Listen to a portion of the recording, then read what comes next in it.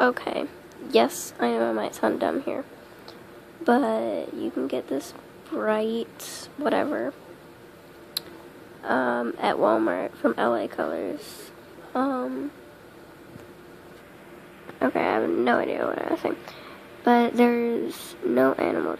There is animal testing. I'm pretty sure, unfortunately, because of the brand.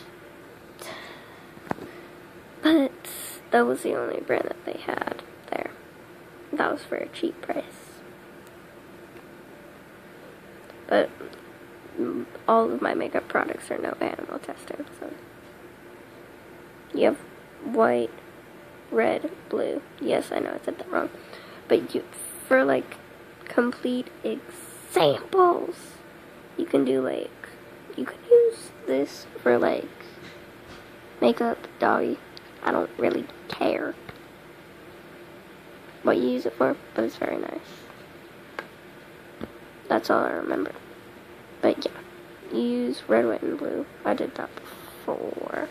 Also did that with the makeup. With the makeup. So yeah. Bye.